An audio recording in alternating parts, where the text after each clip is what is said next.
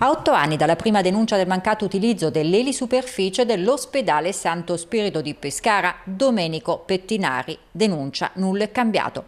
Un anno fa l'ha esposto alla Procura della Repubblica un ritardo che continua a tenere in ostaggio un servizio fondamentale per la sicurezza dei cittadini. Io ritengo che questo sia uno dei più grandi disservizi e inefficienze della sanità pescarese. Questo era un'elisuperficie, fino a 4-5 anni fa funzionato, poi improvvisamente non c'è stato un nuovo appalto di Regione Abruzzo hanno acquistato un nuovo elisoccorso molto più pesante di, della resistenza di questa elisuperficie, ci sono stati poi delle situazioni particolari, appalti, contrappalti, falto sta che succede che da 5 anni non è funzionante. E quindi noi abbiamo che l'elisoccorso è costretto a caricare il politraumatizzato che tante volte sono persone in fin di vita, trasportarlo in aeroporto perché qui non può atterrare, in aeroporto scendere, caricarlo su un'ambulanza, l'ambulanza passare nel traffico cittadino e arrivare in pronto soccorso. Con questa operazione si perde 10 anche 15 minuti di tempo e voi potete immaginare che perdere 10-15 minuti di tempo può fare la differenza tra la vita e la morte di una persona.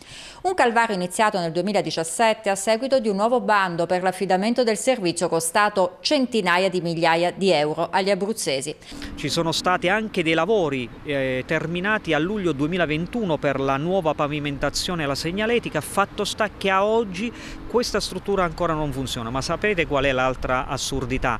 Che la ASL deve pagare la navetta privata, l'ambulanza che dall'aeroporto viene qui. Il servizio di ambulanza privata ha un costo 3.800 euro al mese più 39 centesimi a chilometro percorso fino all'ospedale. Questa è una tragedia, eh, perché qui per un minuto, due minuti il politraumatizzato può morire. Quindi essendo il tempo dipendente, sono e situazioni tempo dipendenti, io ritengo che questa cosa non deve passare più un altro giorno. Un nuovo appello insomma oggi una nuova denuncia pubblica fortissima a seguito della denuncia che io ho già fatto all'autorità giudiziaria un anno fa, ma quella fa il suo corso. Questo adesso è un, un appello forte politico perché la politica, l'assessore regionale alla sanità, il presidente di regione che pensa di inaugurare o a fare nuovi ospedali, bisogna mettere in funzione quelli che abbiamo e soprattutto garantire il soccorso immediato alla nostra gente, se no tutto il resto è propaganda sterile.